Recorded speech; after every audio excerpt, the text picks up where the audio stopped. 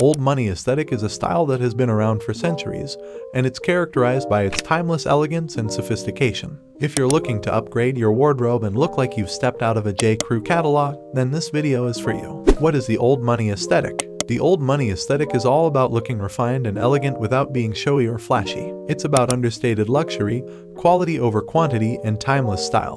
The key to achieving this look is to focus on classic pieces that are well made and will last for years to come. Some key elements of the old money aesthetic include neutral colors, black, white, navy, gray, and beige are all classic colors that work well in this aesthetic. These colors are timeless and versatile, and they can be dressed up or down. Simple patterns, plaids, stripes, and checks can be used in moderation, but avoid anything too loud or busy. These patterns add a touch of interest to your outfit without being too overwhelming. High quality fabrics, wool, linen, cotton, and leather are all good choices for fabrics in this aesthetic.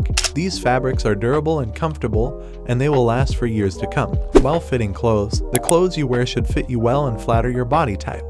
This means getting your clothes tailored to fit your specific measurements. Minimal accessories. A few well-chosen accessories can add a touch of sophistication, but don't overdo it. This could include a watch, a belt, a pair of cufflinks, or a tie. Clothing. Button-down shirts. A classic button-down shirt is a must-have for any man's wardrobe. It can be dressed up or down, and it comes in a variety of colors and patterns. Some good brands for button-down shirts include Brooks Brothers, J. Crew, and Ralph Lauren. Chinos. Chinos are a versatile pant that can be dressed up or down. They are made from a durable fabric that is comfortable to wear, and they come in a variety of colors. Some good brands for chinos include Dockers, Bonobos, and Banana Republic. Suits. A well-tailored suit is a timeless investment that will never go out of style. It is the perfect outfit for formal occasions, and it can also be dressed down for a more casual look. Some good brands for suits include Tom Ford, Brioni, and Zegna. Blazers. A blazer is a great way to add a touch of polish to any outfit. It can be worn with jeans, chinos, or even a suit.